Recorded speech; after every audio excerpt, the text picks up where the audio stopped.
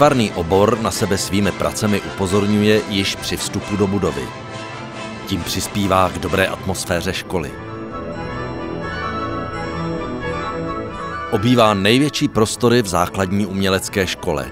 Může se pochlubit prosluněnými ateliéry a velmi dobrým vybavením. Během roku si žáci vyzkouší řadu technik, základních, ale i netradičních.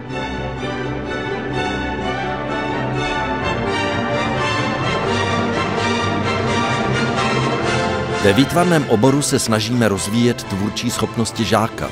Důraz je kladen především na kreativitu, fantazii a samostatné myšlení při práci. Nesmíme také opomenout přípravu na talentové zkoušky na střední školy, umělecké, pedagogické, ale i na vysoké školy, například architekturu.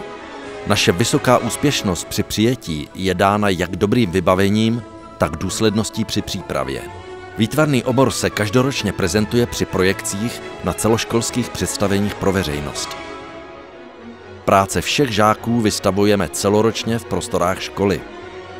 Konec školního roku je završen výstavou absolventského ročníku.